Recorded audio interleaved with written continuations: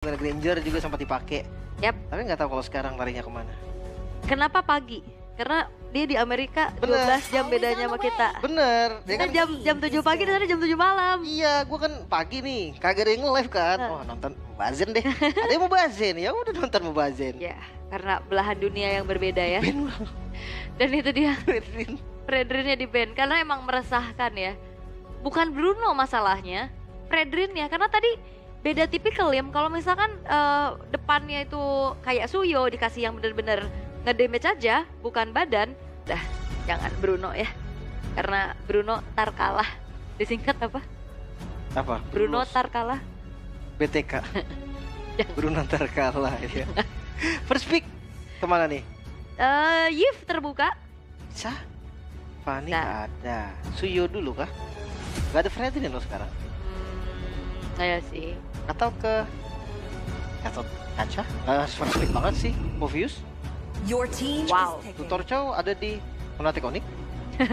Tadi mau coba untuk tutor Arlot enggak ya ternyata ya? Enggak, enggak, Ya, enggak. belum enggak. ya, belum ya. Belum ya. Tapi untuk Chow di first pick sejauh ini Chow bener-bener jadi perebutan ya. Di game 2 tadi juga sempat ada priority ya terhadap Chow-nya. Kelihatan kan? Emang Aha. separah itu Chow. Ketika pasti Beren dua hero lah. Ke arah mana? Masih ada Fovius, ada Gatot Kaca. Kalau mau ngambil ke arah jungle-nya juga ya Suyo masih terbuka sekarang. Kayaknya Pove Suyo gak sih? Tapi karena Suyo bagus sih. Aku aku suka ngeliat ada Eve juga sebenarnya. Hmm. Pove Yif kah? Pove-nya Suyo Eve. Suyo Yif. Lupakanlah Pove sementara. Ultimate Hilda. team Bersama dengan. Suyo. Oke, oke. Jawabannya sebenarnya kalau udah ada Hilda dia nggak boleh pakai hero yang terlalu lama juga di laning. Makanya kayak Povius itu bisa ditinggal-tinggal gitu loh. Ya. beat of the gue lebih suka Khaled walaupun kena nerf. Tapi Joy. ambil Joy terlebih dahulu. Adu assassin berarti. Terjadi. Kembali seperti game pertama. Assassin versus assassin. Tapi di pick ketiganya. Ke arah mana nih? Gold lane kah? Atau ngambil mid lane dulu? Atau setupnya lagi. EXP EXP yang bisa punya inisiasi karena ini kan Halo sudah nggak ada. Ya Gatot Kaca paling. Gatot kaca. Aku ditinggal-tinggal terus sih sama Hilda. Tapi ya nggak apa-apa sih. Itu Ada opsi main Yif dulu ya. Gue pikir tadi dia nggak mau Yif karena ngeliat Suyo Hilda gitu loh. lah. Di awal takut ditabrakin nih. Terus Ah-ah. Yifnya kayak nggak bisa ngapa-ngapain tapi kalau di teamfight enak banget. Enak, enak memang, enak. Yang penting ya timing dari Suyonya juga harus bisa jaga-jaga dan team is Ini juga enak buat lawan Yif. Tiga hero yang menurut gua Ini bisa bisa enak selain God. Godland yang enak lawan Yves selain One One tuh Iritel sebenarnya Tel Cloud juga enak kok iya langsung ke belakang. Cloud juga enak Dan- Oke, banning. Ben ke arah Khalid. Ini bandnya terarah loh. Seperti yang gue bilang tadi, kalau Gatot Kaca mungkin ya diambil nih, ditinggal-tinggal terus sama Hildanya. Ya. Tapi kalau Khalid dia nggak bisa sembarangan tinggal Khalid. Clearnya sama-sama cepat. oke tapi untuk sekarang ya dari band keempat dari Fnatic Onyx Philippines eh jungle udah kelihatan EXP midnya dulu nggak sih mid atau romnya kayak tadi sebenarnya kan kalau ngeliat dari Shark kena respect terhadap Guinevere ya tapi kayaknya untuk ketemu sama Joy agak ya udahlah ya Iya. lepasin aja Kayaknya mungkin. Tigril nih Tigril Akai, Akai Akai, lebih make sense, benar. bisa. Acceleration yang lebih pasti juga. ah, ini EXP lagi kayak mau ambil Terizla Terizlanya Hmm. Ben Ben Terisla banget nih. Ya tadi oke sih Terizlanya atau Arlot nah kan dari tadi jadi perebutan Untuk ngelawan One One ya. Hero-hero Winter.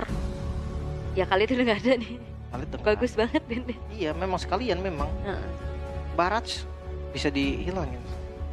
yang seenggaknya ya Foveus Obvious ya. ya buat ketemu sama Hilda juga kan Iya, walaupun nanti akan ditinggal sama Hildanya. Hildanya kayak clear aja terus Hildanya masuk jungle, posisinya Oke. masuk clear. Tapi seenggaknya nanti ketika lawan one one, one dia pasif dia tuh nyala terus. Your Ban. team is banning. Penasaran sih XP-nya bakal ke arah mana? Atau Arlot lagi main damage aja? nggak boleh review skin prime kah Gak boleh, gak boleh, gak boleh. pengen loh Tapi memang one one susah lawan Cloud. Eh, ini coba Papulung. Ya. Kalau dia bilang bisa, kurang-kurangin lah bilang sama dia. Karena ya cewek juga bilang susah. sekarang dia udah nggak one one Your iya, iya maksudnya kayak. Cloud dia ini cloud mungkin karena one suka lawan Cloud dia pakai Eh, Cloudnya karena kan dia punya skin yang prime itu ampun. sesimpel itu Tigreal itu dia yang ditukar aja pola bandnya yang tadi aku pikir uh, Tigreal bakal di band keempat. Hmm, mid lane-nya apa nih buat sama Yves? I'm the priestess Dan of edit dulu, oke. Edit evil gods. Sebenarnya Valentina udah paling enak sih buat buat Hun. Valentina ya. Iya. Dia bisa ngambil Rectifying Blitz juga. Eh terus bisa di, kalau kabur bisa pakai ini juga Arcane. Shadow Strike. Iya iya iya iya. Atau kalau misalkan in case dia kagak mau pakai Valentina Faramis sih menurut gua. Wah, Faramis ketemu Yves. Tapi seenggaknya bisa nge-counter gitu loh. Ada Wing of Dragon nih. Dia buka Oke. buka al apa Netherrealm-nya. Terus hindarin satu itu doang udah. Jadi counter setup gitu. Oke, Tapi Gua- memang paling make sense Valen sih. Valen ya. Oke, dari sekarang Fnatic Onyx Philippines. EXP dan Gold kiri kanannya belum kelihatan. Kalau asumsinya, nah itu dia Gatot kaca dulu dan Gold lane-nya akan ke Iritel. Your team is picking. Ya si retail juga selalu berjalan kan. Iya, 100% win rate sejauh ini. Selalu berlari, gak gampang dipecahin stacknya. Ya, Valentina atau Aurora? Valentina sih kayak. I didn't cure the pain. Itu dia udah best option. Ya, nggak ada lagi. Tadi Valentina sama Faramis. Ya Faramis itu in case cuman buat hindarin Wave Dragon doang. Ya. Satu skill doang. Jadi mendingan dia pakai yang yang lain aja dan ya Valentina escape-nya ada, damage-nya ada. Dan ini dia penentuan siapa yang akan lolos ke babak knockout menemani RRQ ya yang udah nge-secure satu slot juga. Fnatic Onika, BTK kah? Karena gue ngeliat gameplay BTK tadi dahsyat juga loh Iya. jujur ya. Ini udah peregangan otot pastinya ya, udah mode kompe sekompe-kompenya satu kesempatan terakhir untuk bisa mendapatkan langsung tiket ke babak knockout antara BTK dan juga Fnatic Onyx Philippines di Best of Three dan ini adalah match point untuk kedua belah tim. Oke, pembuktian ya. Apakah benar seperti video di sebelumnya? Banyak yang bilang kayak BTK, mereka biasa aja, mereka nggak nggak jago. Tapi kalau misalkan mereka secure slot duluan, mereka membuktikan kalau mereka semua salah. Yang ngomong negatif arah BTK semuanya salah. Karena BTK bisa secure. So ini dia pembuktiannya Onyx atau BTK. Let's go to Land, Land of Down. Let's go! Nah, seperti kata Iritel, let's go! Let's go. Nah, oke. Dan sebenarnya kalau ngelihat dari match up-nya ya, beberapa waktu ke belakang kita kan selalu melihat antara Suyo dan Alpha. Tapi untuk di akhir-akhir ini ya, terutama di M6, Suyo tuh di, kon di kontesnya atau di compare sama Joy. Karena buff juga kan dari Joy-nya lumayan buff, enak untuk farming cepet. Dan ya kalau ngeliat dari retail versus One One di awal kayak One One sakit kepala juga sih. Iya. Lumayan kena out damage kan sama outrange juga. Apalagi kalau misalkan One One yang mau pecahin stack belakang itu sama-sama lari kan sama Yap. retail, uh capek juga itu. Dan Damage-nya lebih sakit ini. retailnya Master Assassin lagi. Makanya. Udah gitu ngelihat dari Shark juga sekarang di arah tengah udah harus terpukul mundur. Seperti biasa, Idit udah ada Swift di dalam tubuh. Oke. Wah, pok damage yang ngeri banget. Balik lagi dari Brusco dengan Gatot kacanya. Ada Conclusive Blast ya. Yang bisa kasih damage juga. XP Cho ini memang pilihan terbaik sih. Karena ya dia biar nggak ditinggal-tinggal terus, bisa tinggal balik juga. Oke. Tapi untuk Foul Chicken masih cukup struggle ya untuk bisa melakukan uh, landingnya terlebih dahulu. Sementara untuk ngelihat bagaimana Kirk yang menggunakan show ini bakal berubah posisi lagi. Rotasinya juga akan jauh lebih cepat.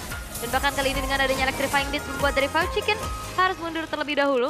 Tidak ada inisiasi lebih lagi yang ingin dilakukan oleh kedua belah tim karena turtle pun akan segera muncul dalam 10 detik ke depan. Oke. Kayaknya dua-duanya mau kontes deh. Uh, Brusco. Karena damage yang sakit banget setengah HP loh itu yang hilang. Apalagi di arah mid nih. Udah ada Kirk yang hadir di level 4. Harusnya siap untuk pelakuin setup juga. Turtle mulai ditarik tapi lihat gerakan dari Hildanya. Fight Chicken.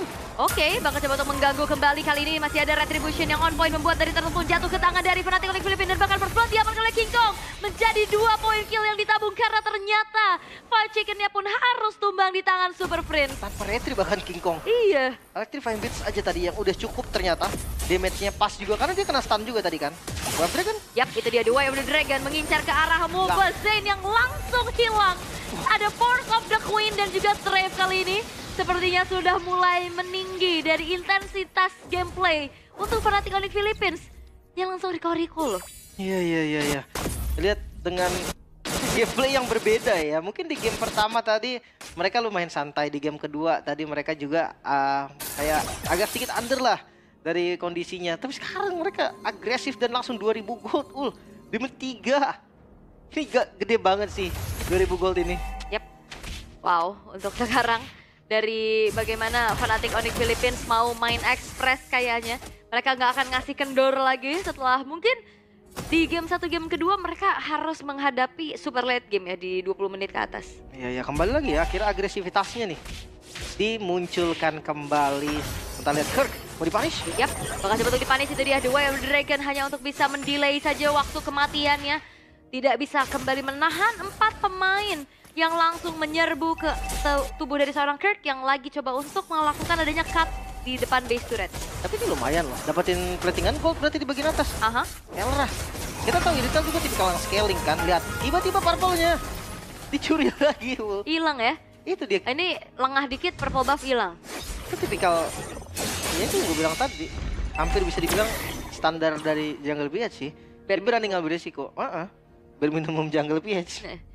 Berani Ini- ngambil resiko tapi ya kalau dapat ya bagus kayak gini. Langsung beda dua level kan? Itu dia. Unggul banget jadinya. Yap. Turtle yang kedua sudah muncul kembali. Sudah mulai di setup ulang oleh fanatik Onyx Philippines. Sembari BTK ini lagi lumayan concern terhadap pergerakan dari Kirk ya. Siapa pun bisa kena tendang. Karena hanya ada Hun aja yang memiliki satu buah Purify. Hmm. Tapi kalau Fight Chicken kayaknya yang kena kick dia ada revitalize juga sih. Aman harusnya. Yap. Turtle langsung setup. Yap. Dan Zia juga seenggaknya dia punya Nidosin Flower ya. Buat ada bala bantuan immune effect-nya juga. Avatar of Guardian mendapatkan satu pemain. Tapi langsung di pop up lagi dari arah belakang dengan dari manipulation. Tapi langsung dipukulin oleh Van Chicken. Super Penisnya mundur. Tapi The Way of the Dragon mengincar ke arah seorang Mobile Zen yang masih sempat mengeluarkan Retribution. Sehingga tadi Kikong hanya membalaskan saja dengan ada point kill. Dengan Zia yang hilang. Brusco menjadi pertukaran nyawa. Tapi lagi-lagi kali ini BTK tidak mau kalah. Mereka tetap ngotot untuk bisa melakukan kontes. Iya, ya, dijauhin tadi ya. Zoning out. Kelihatan banget tadi Shark. Dia ngebuka Primal Wrath-nya di bagian depan tadi. Membuat King Kong nggak bisa masuk sama sekali. Karena kalau King Kong paksa masuk, tadi dia yang akan tumbang. Turtle bisa didapatkan dan sekarang seenggaknya goldnya udah mulai dikejar. Tapi ketahuan. Yap, King Kong. sepertinya King Kong kali ini harus mundur terlebih dahulu. Udah nggak ada lagi jalan untuk pulang, tapi masih ada satu death terakhir dan bahkan ini mau dari King Kong. Satu hit terakhirnya pun masih selamat dan nice to Kirk yang langsung membuka the way of the dragon. Membuat dari BTK gagal untuk bisa mempanis keberadaan dari seorang King Kong. Masih bisa selamat. King Kong. Satu tetes darah terakhir tadi dan trapping. Shark gagal sepertinya. Avatar of Guardian Brusco mengincar ke arah seorang Zia. Tapi di arah top lane ini Kalranya juga free banget loh. Dia dapetin outer turret secara cuma-cuma. Ya ya King Kong. Dia ngasih spacey dari tadi. Yang dilakukan King Kong memang kayak menantang maut bisa dibilang. Tapi ya dengan selamat terus-terusannya King Kong, ini bikin iritelnya Kelra. Jadi kayak terlupakan gitu gak sih?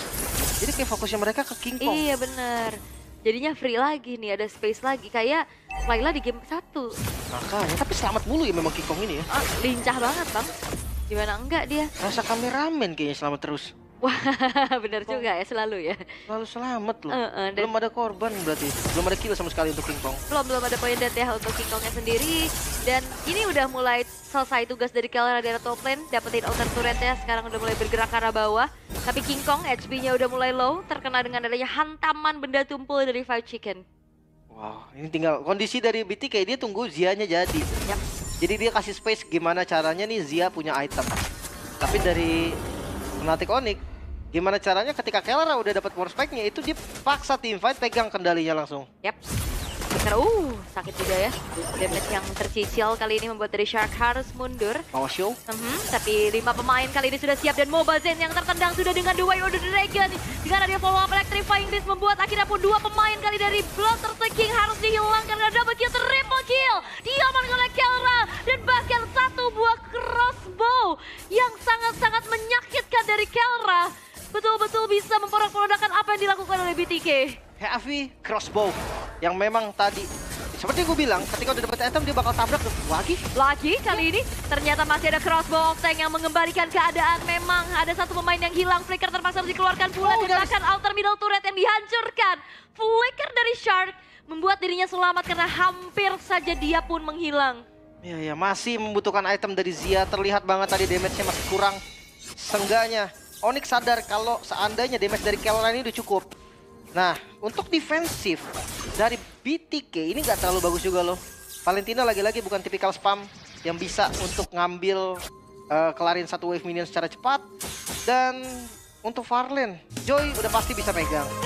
Udah pasti bisa lebih unggul juga mobilitasnya daripada ya, Legends dengan Suyo. Ya, dan ini tadi kita ngeliat uh, King Kong pakai Joy juga kan? Mhm. Warcry. Sekarang, Sekarang ganti temporary. temporal. Mungkin ya balik lagi. Conditional. kondisional yang pakai impurage tuh kalau nggak salah Flavian deh tapi dia nggak selalu juga kadang temporal juga Ya, dan itu dia. Mobile Zen Eh, yang one kelewatan. one situation. Kelewatan sedikit, gak apa-apa, gak masalah. King Kongnya langsung mengeluarkan Electrifying Blade juga sebagai defensive maneuver ya, biar tidak ada yang mendekat. Nah itu abis electrifying beats Ada ada lagi rhythm itu Ah. bedanya kalau nggak pakai uh, temporal dia pakai starlium itu tiga detik tiga detik baru ada lagi rhythmnya 3 sampai 2 sampai 3 detik lah baru ada lagi makanya kayak kalau di kondisi menantang maut gak bisa dia kalau posisi menantang maut harus temporal Oke. Kayak sekarang bener-bener mau main cepat banget ya kayaknya. Main agresif dan satu buah Wishing Lantern telah terambil oleh Super Prince. Dan juga Great Dragon Spear. Dan bahkan ini Shark lagi-lagi yang menjadi korbannya bahkan dengan satu buah Wide of Dragon ya yang harusnya tadi dihempaskan juga dari Kurt. Tidak segan-segan Shark yang udah menjadi targeting utama di lini paling depan. makan sharknya ya selama masih bisa cukup damage-nya itu kayaknya tetap akan dimakan sih. Kecuali pas lagi objektif. Kalau dari tadi pas objektif tuh dia ngincernya Mobe Zane kan. Si Korknya dia pakai flickernya untuk nangkap Mobe Zane tapi kayaknya bakal free untuk Lordnya. Wow, Boba Zen satu hit terakhir dan itu dia heavy crossbow dari Kelra. Dengan range juga yang ternyata menggapai keberadaan dari Moba Zane sehingga tidak ada kesempatan sama sekali untuk BTK bisa mengontes terhadap Lord yang sudah tereksekusi di tangan dari King Kong. ini langsung beda banget gameplaynya loh dari game kedua dan bahkan game pertama. Agresivitas dari Onyx muncul kembali. Apalagi kalau ngomongin soal defensif nih BTK nggak banyak. Oh, kali ini dengan adanya Unstoppable didapatkan pula dan seketika. wipe out diciptakan di Dan bahkan Mobile Zen sudah spawn kembali. Tapi masalahnya adalah Bang Suret kali ini pun sudah tidak memiliki pasif di mana Lord sudah berjalan di area top lane. diacak-acak ul terlihat Wow. banget tadi posisi dari Kirk yang sekarang nggak ada flicker mungkin nggak bisa inisiat terlalu dalam tapi mau Zane dia nggak bisa terlalu depan juga buat defense Oh sendirian dan bahkan hilang seketika. Godlike didapatkan di tangan dari Kelranya. Satu persatu pemain-pemain dari BTK juga udah spawn kembali melakukan defensi seperti apa. Terpukul mundur sudah. Tapi critical damage yang disumbangkan oleh Kelra membuat akhirnya pun BTK nggak bisa berbuat banyak. Tapi masalahnya produksi Super Wave Minion ini berlanjut terus. masih ada Lord di atas Itu dia. masih ada PR lagi dari teman-teman BTK juga dan harusnya masih bisa ke defense sih karena Wah. sekarang udah sakit banget Oh itu dia dengan adanya Force of the Queen. Ada getaran yang sangat-sangat menyakitkan juga membuat dari BTK satu persatu mereka udah harus aware lagi dan harus mentargetkan ke mana? Kelra kah atau King Kong dulu kah yang diprioriti? Karena secara dari draft ini nggak ada titik pasti loh. Cuman ngandelin inisiasi dari Sharknya aja. Dan sekarang dengan adanya root manipulation dari belakang. Free hit dari seorang Kelra double kill diamankan pula. Mencoba untuk maju tapi Sharknya pun harus hilang. Wah, selesai. ini triple kill. Diambil Kelra dan Mania. Menutup harusnya Fnatic Onyx Philippines yang akan melaju ke babak knockout stage. bahkan kalau kalian lihat tadi di kameranya Kelra sudah berjoget setelah mendapatkan maniak dan kasih tahu di recall recallin pemain dari Onyx Filipina membuktikan bahwa mereka lah yang lebih layak masuk ke babak knockout. Dan dua tim yang sudah kita temukan. Fnatic Onyx Philippine menyusul RRQ Hoshi menuju ke knockout stage. Dan memang menjadi match yang sengit tapi buff apa yang didapatkan oleh Fnatic Onyx Philippines di game yang ketiga sehingga gameplay berubah drastis. Sangat-sangat agresif. Inilah yang kita tahu. Inilah Onyx Filipin. Bahkan BTK yang tidak berkutik sama sekali dengan ban ke arah Fredrin. Gak ada Bruno. Terlihat BTK sangat-sangat kerepotan. Yap, dan BTK mereka turun ke pool 2-1.